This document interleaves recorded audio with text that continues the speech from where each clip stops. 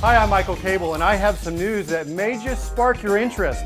Edison Nation is excited to announce its latest live product search.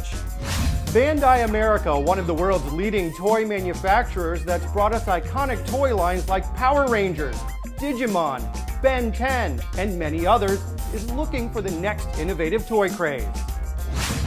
Leverage one of their existing big name brands or come up with your very own.